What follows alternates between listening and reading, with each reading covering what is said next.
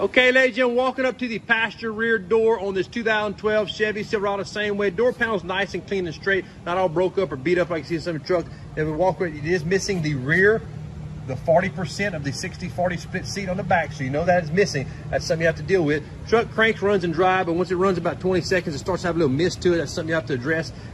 Passenger door panel, same way. Door panel straight, but it is missing the controls for the uh, window regulators and the power door lock. That's something you will have to address. Like I said, this has come off a Allen Parish Sheriff Department local drug seizure, so they, they have some stuff that's gonna be missing here. And you see the dash is pretty straight on this side. It was cracked on the side. It does have a little crack on the top here. Truck cranks, runs, and drives. Looks pretty. Trucks when we spend a little money on here and have a decent old truck. The only time it's also gonna find is 2012 Chevy Silverado coming to Southwest Louisiana about. Thank you.